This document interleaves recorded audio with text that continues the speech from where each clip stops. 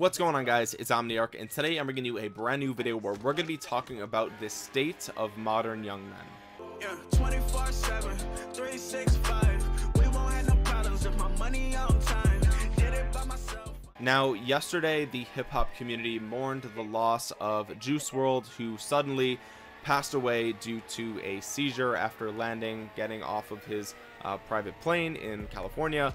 He was rushed to the hospital soon uh, passed away after that. And um, you know we haven't seen any confirmed reports on what happened what caused the death we haven't seen any toxicology reports uh, but if I were a betting man I would say he probably had a seizure as a result of benzodiazepine withdrawal syndrome which is you know seizures are very common. Essentially what this is uh, is if you are known for taking uh, different forms of benzos over long periods of time three months or longer or even years and then you suddenly either stop taking them or you lower your dosage too dramatically.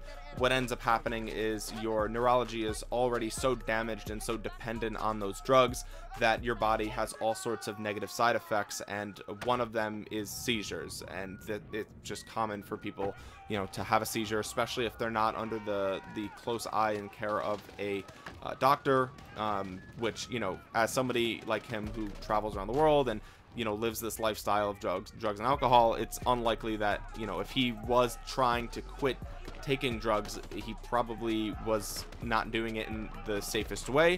I don't know again and i don't and i'm not saying any of this out of disrespect um, but you know this is what i would be i would be willing to bet that this is what caused him to suddenly pass away um, and you know I don't really think that this comes too much of a surprise for anybody. I mean if you listen to his music over the last couple of years he's talked openly about um, various uh, drug use and heavy, being a heavy drug user for years now at this point. So you know whether it was withdrawal syndrome or overdosing or whatever like it wouldn't really come to a surprise to anybody. And you know this he's not the only one. And, and again I don't mean this in, a, in any disrespectful way. He was obviously incredibly influential and was able to touch the lives of many many young people uh, in the gener in my generation the generation uh, below me.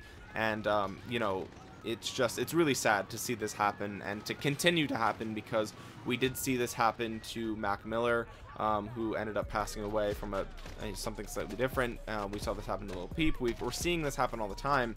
Um, and you know extending this past drug use I mean we also saw obviously XXXTentacion pass away to um, gun violence. Uh, we also saw 6ix9ine get locked up for you know criminal charges uh, gun violence things like all sorts of criminal activity. Um, you know he has a long list of things basically. So I wanted to make this video because it seems like young men right now are really struggling. And I'm coming from the perspective of somebody who lives in America. I'm 25 so my demographic um, maybe the uh, up a couple of years above me as well as uh, people beneath me and all the way down to the age of 18 you know that age bracket men under 30 basically are really struggling right now it seems. Um, and I have some statistics here that I want to talk about but the reason that I'm talking about this specifically is because um, you know I'm, I'm not an expert on any of this by any means. Um, I'm not a doctor. I, I don't really study you know um, the this the psychology of our current culture um, but you know I think my demographic the people that watch my videos probably are under the age of 30 and are men. So I wanted to make this video kind of just to tackle and wrestle with this uh, this crisis basically that's happening in the modern world in America at least. I'm sure it's happening other places.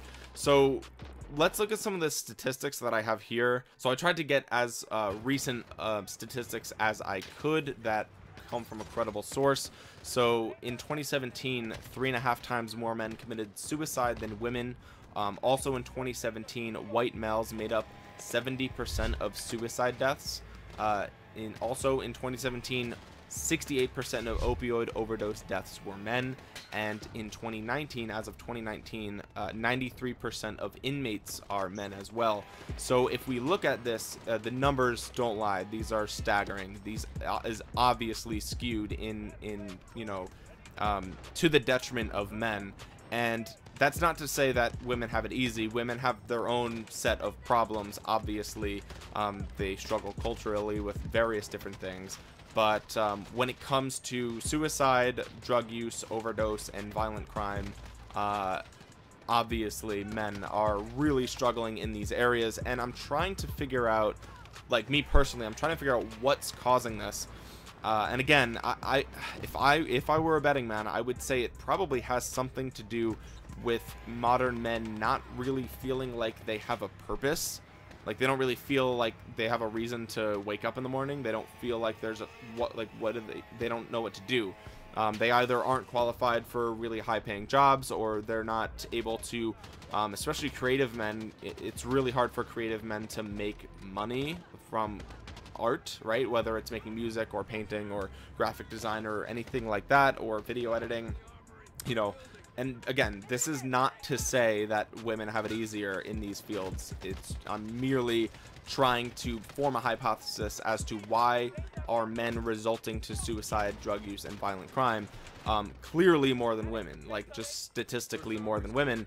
So I don't. I feel like it has something to do with a lack of meaning and a lack of purpose. Um, I think society right now is structured in a way that you know is probably easier for women to digest you know, uh, going to high school, college, um, finding like uh, work experience and things like that. That's a very structured. It's very you know packaged and boxed in, and I feel like maybe a lot of men are just too disagreeable or, or too you know um, they just don't really that doesn't fit how they function right they they can't just sit still at a desk and study for eight hours a day um, I don't know. I, again, I'm not a. I don't specialize in this. I, am not sure, but um, you know, part of the reason that I'm making this video is if you are a man in this demogra uh, demographic and you're feeling some type of way, whether you're feeling depression or you're feeling uh, maybe you currently are relying on drugs to feel to numb any sorts of pains or anything like that. Um, I, I, would love to hear your um, point of view. What, how do you feel in the comment section below? Uh, just so I, I, I don't know. This is just it's it's actually fascinating to me in the worst way. And one of the things about Juice WRLD passing away, likely due to drug use, whether it was overdose or withdrawal syndrome, uh, most likely it was drug use. I mean, they even found pills on the plane. They found gun, guns on the plane, weed, which who cares about that? But all the news outlets are like, oh my god, there was weed. Who cares? Whatever. Um, but you know, pills and dr- uh, drugs and guns. That none of that spells out a promising future, really. But um, one of the interesting things about Juice WRLD, Mac Miller, these rappers that are famous, right? They're millionaires, or they at least they are very well off. Um, they have tons of, of fans and people that love them, right? Absolutely adore them.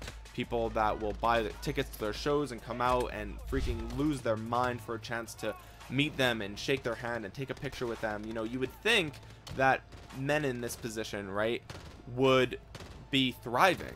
You would think that, right? You would think that looking at these statistics, three and a half times more men committing suicide, 68% um, of overdose, opioid overdose deaths are men, 93% of inmates are men. You would look at that and think, well, that's probably poor men, right? Like that's probably the disenfranchised man that no one cares about they're ugly. They they can't find a they can't find a girlfriend. Um, they aren't smart. They're not educated. They don't have any skills.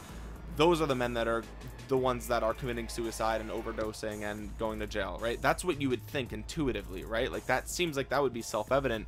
But then we're seeing these rappers these people with millions of dollars and you know basically fans and people love them women love them. Like you would think they're at the top of the social hierarchy um, you would think that they would be doing well, right? But it turns out they're also doing drugs, overdosing, committing uh, violent crime. Like they're doing all the same things. And so I'm trying to figure out like what exactly is going on with this this cultural movement. Like where are we headed? What's causing this problem? I think it's a very multivariate issue. I think there's lots of things going on. Um, I think there's a dark underbelly of our current culture that we should be discussing more. Um, because obviously men are not making it right. Like, it's this is serious. Like a lot of men are not choosing life, and that's scary. Um, so I'm wondering if we're seeing a culture that is praising drug use and alcohol consumption and violent crime is that being pushed by these rappers and thus the people on the bottom rung of society like they're just copying them. Is that what's going on? I don't really buy that right? Like i don't really think that's the case because for decades now we've seen back you know even back in like the 60s and 70s rock artists musicians they all were doing drugs and consuming alcohol and all sorts of stuff right? But if you look at the charts we're seeing suicide spike. We're seeing opiate overdose, overdoses spike. We're seeing all sorts of terrible things happening within the last decade. So something has changed in the last decade starting in 2010 and up until now whereas um, the rich famous musicians and artists that happen to be young men we're still doing the same thing young men are doing now right but it's even worse on uh, as a as a culture. We're seeing even more men committing suicide, overdosing, going to jail than we ever have before. At least that's what it looks like to me from the little data that I pulled out uh, pulled up.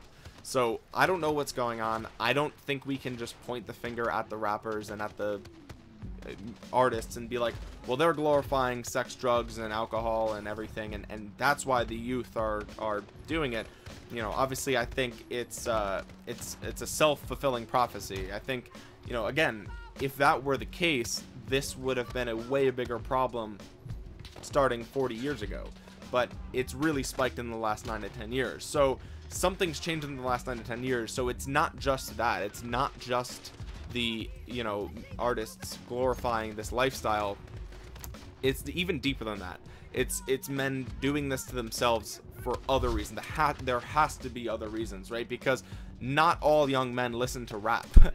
not all young men are really into modern culture. They're not really, you know, uh, watching modern things. I mean, maybe they are. I don't know. But I would be willing to bet that it's not just, you know, the celebrities pushing this culture. Um, I, there's something else going on here, and that, and that's kind of why I'm making this video.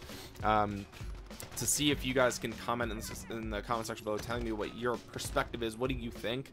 Um, you know i'm hoping to reach people in different states maybe even different countries that can give me a better idea. Um, but again my hypothesis it falls on um, men just not functioning well in such a rigid society maybe and just feeling like it, it it they just can't perform well. And if they can't perform well then they don't have uh, you know prospects of good of a good paying job and and you know maybe I think providing for family is something that men whether they realize it or not probably take really seriously.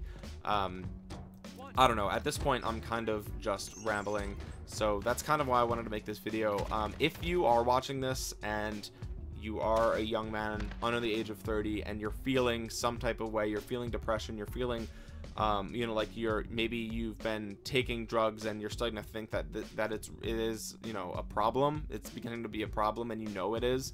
Um, and you know you haven't been able to admit it to yourself until now.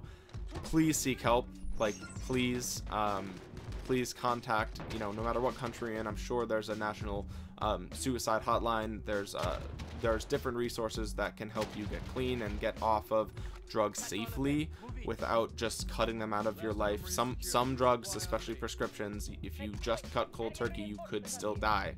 Um, so be very careful with that stuff. And the, you know, hopefully, if you're watching this, you know better. If you've never gotten into any of these prescription drugs, you know like stay away from them. Even if your doctor prescribes them for something like uh, you know a dental procedure or something like that try your best not to take things like xanax and stuff like it's it's damaging so many people's lives and a lot of times people are getting it legally because their doctors are prescribing it and it's it's just really nasty and before you know it you're addicted to it. So my advice again not a professional you know but i would try to stay away from this stuff like the plague and you know that's just me that's just my two cents. And if you need someone to talk to um, my discord link is in the description below as long as as well as all my social media um, you don't have to follow me or whatever, but you can shoot me a message if you're feeling some type of way, and I'll.